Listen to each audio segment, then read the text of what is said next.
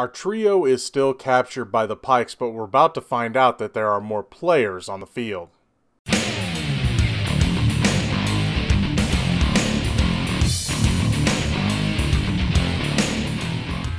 Hey everybody, what's going on? Welcome to an all new Crossin' Streams. As always, I am your host, the Reel Geno, Geno Reynolds, and today we're going to be continuing our look at Season 7, the final season of the Clone Wars, this time Episode 7 entitled Dangerous Debt.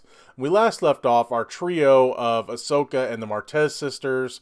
Uh, were still captured by the Pikes, and they are still at each other's throats uh, about uh, how they got in this situation. Well, at least Ahsoka and Rafa are still at each other's throats. Um, there's a lot of talk about uh, the morality of the whole situation.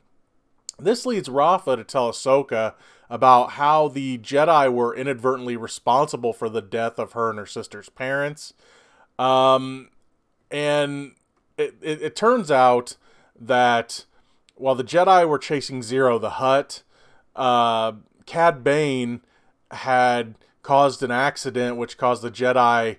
Uh, Ziro gets away, and the Jedi uh, end up end up inadvertently uh, killing uh, their parents by an explosion. And here's the thing: the Jedi they didn't exactly help help the newly orphaned kids.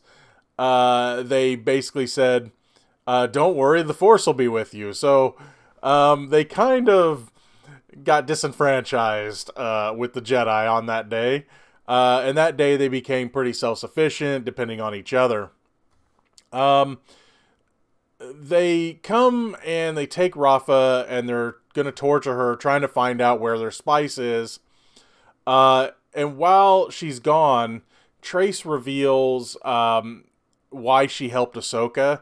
And she says that's because that's what her mother would have done. Um, then they come back, they bring back Rafa, and then they take Trace to be tortured. Uh, but Trace is able to attempt an escape. She tricks them. Uh, she like faints, and they go to check on her, and she takes a gun and starts blasting, and she gets away. Uh, with Rafa out cold from her torture in the cell, Ahsoka is finally able to use her force powers to escape.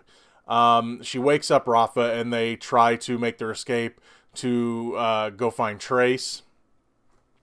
Uh, they end up eventually meeting back up, and they all make a run for it. Uh, and Ahsoka, for I don't know how many times this is now, she's still trying to hide the fact that she was a Jedi, that she's force sensitive. Uh, she has to use her force powers again without being seen. Uh, after they make their escape, though, uh, someone asking for money, uh, who they turn away, uh, gives them up to the Pikes. Uh, he this guy asks the Pikes, "Do you have any money?" And they turn around. They have a hologram of our trio, and he's like, "Are you looking for them?" Uh, so he gives them up for money, uh, and so they're recaptured before they can get to their ship and get away.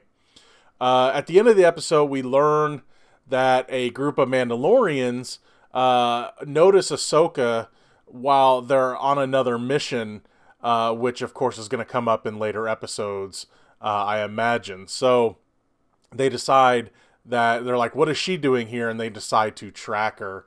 Um, this episode was okay. Uh, I have nothing wrong with it, don't get me wrong. But it really, other than the reveal at the end, and then the reveal of what happened to uh, the sister's parents, um, there really isn't a lot of story advancement other than that. I mean, those are some pretty big advancements, don't get me wrong. But for a half hour episode, it's there there's just a lot of filler it seems. Um I have this hunch though that you know, we've got yeah, the Mar- the Martez sisters, I like them and they're they're playing their part in Ahsoka kind of finding her way in this world uh, after leaving the Jedi Order, but I have a feeling that they're like not gonna go with her because I don't see them fighting. Because uh, you know we're gonna get back to uh, Ahsoka uh, fighting in the Clone Wars or at least in some kind of capacity fighting with the clones or something. You know we're gonna get there. Uh, chances are she's gonna end up going to Mandalore uh, to face off against them. Uh, against the ones that have taken over. Um, so I don't, I don't know other. I don't know if the Martez sisters are going to be as important. Um, I don't know. I just I feel like maybe they're going to be wasted as characters. I mean, yeah, again they are playing their part in, in Ahsoka finding her way, but are they going to be more important other than that? I'm just really curious about that. All in all, it's a good episode. Other than the two big reveals, though, um, there's just not a lot going on in this one. It's it's still a fine episode, though.